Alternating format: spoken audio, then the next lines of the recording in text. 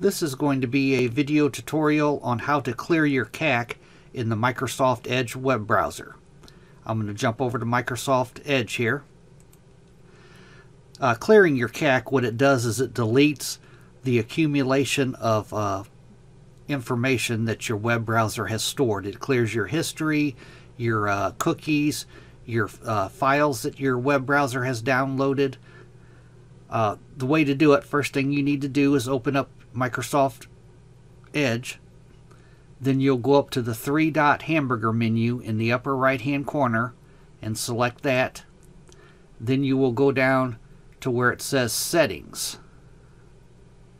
Right down here and select that.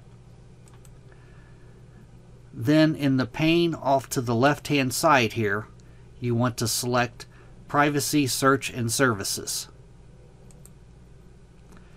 Then you'll scroll down to where it says clear browsing data, clear browsing data now.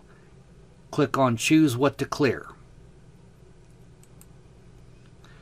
And then by default, it has these four boxes checked here. Your browsing history, download history, cookies and other site data, cached images and files.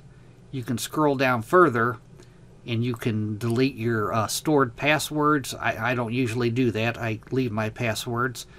Autofill forms. What autofill forms are is where you are filling out a form and it will automatically help you fill it out with you know your personal data. Site permissions. All data from the previous version of Microsoft Edge. That means data that it uh, brought over from your previous version of Microsoft Edge. Media Foundation data. I usually leave all those unchecked. I leave the default 4 checked and then you just click clear now. And it could take some time depending on the amount of uh, data that you have stored in your browser. It could take some time. But mine was pretty mine was pretty quick though. But that's how you clear your cache using the Microsoft Edge browser. Thanks for watching.